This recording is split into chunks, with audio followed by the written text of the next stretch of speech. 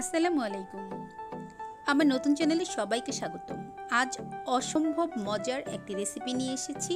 যে রেসিপিটি আপনি একবার করলে বারবার করে খেতে চাইবেন, সেটি হচ্ছে পটলের রেসিপি। যদিও পটল কিন্তু ভিতরে থাকবে কিমা, এটিকে পটলের দোরমা অথবা কিমা পটল অথবা পুরভরা পটল, যেটাই বলি খেতে অসাধারণ।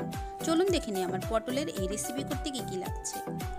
এখানে আমি কিছু পটল নিয়ে নিয়েছি এবং পটলগুলোকে ভালো করে ধুয়ে নিয়েছি। তারপরে এভাবে একটি ছুরির সাহায্যে উপর থেকে আঁচড় কেটে সবুজ অংশটা ফেলে দেব। এভাবে আঁচড়ে নিলেই আপনি পটলটা খেতে বেশি টেস্টি হবে এবং আপনার এই রেসিপি বানানোর জন্য ভালো হবে। তারপর দুই সাইড পটলের কেটে নিব, এক সাইড একটু কম কাটবো আরেক সাইড একটু বেশি কাটবো। যে সাইড বেশি কেটেছি, সে সাইড থেকেই আমি পটলের বিচিগুলো এভাবে একটি চামচের গোড়া দিয়ে বের করে নেব। খুব বেশি কঠিন কিছু না, আপনি চাইলে এভাবে বের করে নিতে পারবেন অল্প সময়ে। অবশ্যই ছুরি দিয়ে চেষ্টা করলে পটলটা কেটে যাবে। তাই চামচের গোড়া দিয়ে করলেই বেশি ভালো হবে। দেখলেন তো, খুব সহজে আমি সবগুলো পটল থেকে এভাবে বিচিগুলো বের করে নিয়েছি। একদম রেডি করে নিয়েছি। পটলের বিচিগুলো কিন্তু ফেলে দিবেন না। তারপর পটলগুলোতে সামান্য লবণ মেখে আমি এক সাইড করে রেখে দিব। এই যে পটলের বিচিগুলো, এগুলো এখন আমি ব্লেন্ডার করে নিব। সাথে এক কাপ পরিমাণ মুরগির মাংসের কিমা করে নিলাম এবং পটলের বিচিটাও ব্লেন্ডার করে নিলাম। চলে যাব চুলায়। চুলায় একটি ফ্রাই প্যান বসিয়ে এখানে আমি এক টেবিল চামচ পরিমাণ সরিষার তেল দিয়ে দিলাম। সরিষার তেল দিয়ে করলেই রান্নাটি আপনি অরিজিনাল টেস্ট পাবেন। তারপর দিয়ে দিলাম একদম কুচানো দুই টেবিল চামচ পরিমাণ পেঁয়াজ। পেঁয়াজটাকে সামান্য একটু ভেজে নেব। লাল করব না জাস্ট নরম করে নেব। অপেক্ষা করছি মিডিয়াম লো আঁচে রেখে পেঁয়াজটা নরম হওয়া পর্যন্ত। পেঁয়াজটা যখন নরম হয়ে যাবে, ঠিক এখানে, ঠিক তখন আমি ব্যবহার করব হাফ চা চামচ পরিমাণ হলুদ, হাফ চা চামচ পরিমাণ মরিচের গুঁড়া এবং অ্যাড করে দিলাম এক চা চামচ পরিমাণ ধনিয়ার গুঁড়া। এক চা চামচ পরিমাণ জিরা গুঁড়া। দিয়ে দিলাম এক চা চামচ পরিমাণ আদা রসুন। সবগুলো মশলা একটু নেড়ে চেড়ে মিশিয়ে নিব এবং অ্যাড করে দিব কিমা আর পটলের যে বিচিটা আমি ব্লেন্ডার করেছিলাম সেগুলো সব একসাথে মিশিয়ে ভালো করে নেড়ে চেড়ে এটাকে শুকানো পর্যন্ত আমি রান্না করে নিব যাতে একটুও পানি না থাকে। আর এখানে বেশি তেল ব্যবহার করতে যাবেন না, তাহলে কিন্তু আপনার কিমাটা পটলের ভিতরে দিতে অনেক ঝামেলা হয়ে যাবে। টেস্ট বাড়ানোর জন্য অ্যাড করে দিলাম কিছু ধনিয়া পাতা। ধনিয়া পাতাটা একান্ত আপনার ইচ্ছা, চাইলে স্কিপ করতে পারেন। আমি লবণ দিতে ভুলে গিয়েছিলাম অ্যাড করে দিলাম লবণ।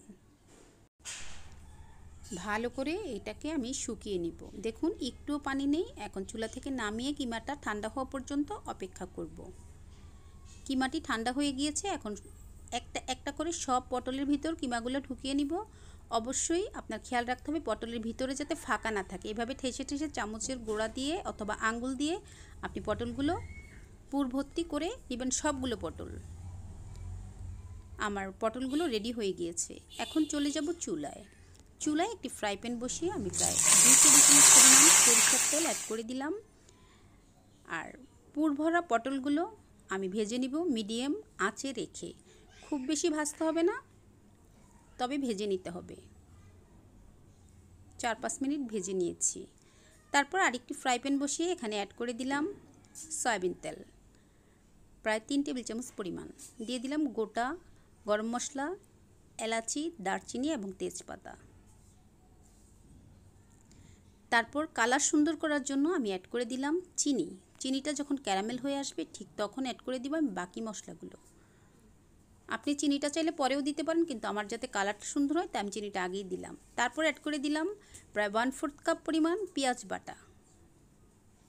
দিয়ে দিলাম ওয়ান ফোর্থ কাপ পরিমাণ টমেটো পেস্ট। অবশ্যই টমেটো পেস্টটা দিবেন, খেতে অসাধারণ হবে। দিয়ে দিলাম এক টেবিল চামচ পরিমাণ আদা রসুন বাটা। মশলাটিকে ভালো করে কষিয়ে নিব। দিয়ে দিলাম স্বাদ অনুযায়ী লবণ। লবণটা অবশ্যই বুঝে দিবেন। অ্যাড করে দিলাম সামান্য হলুদ। গরম মশলার গুঁড়া। এখানে হলুদটা ব্যবহার করেছিলাম শুধুই কালারের জন্য। তারপরে এক চা চামচ পরিমাণ মরিচের গুঁড়া। দিয়ে আমি মশলাটিকে আবার কিছুক্ষণ সময় নিয়ে কষিয়ে নেব। সাথে অ্যাড করে দিলাম এক চা চামচ পরিমাণ ধনিয়ার গুঁড়া।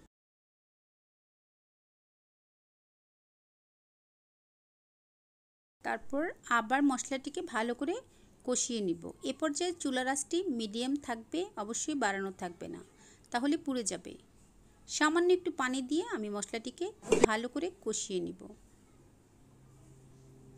অবশ্যই একটু সময় নিয়ে কষিয়ে নিলে খাবারের টেস্ট অনেক গুণ বেড়ে যায়। প্রায় পাঁচ ছ মিনিট আমি কষিয়ে নিয়েছি। এখন অ্যাড করে দিলাম, আমি হাফ কাপ পরিমাণ দই এবং আট দশটি কাজু বাদাম বাটা একসাথে ব্লেন্ডার করে নিয়েছিলাম। সেই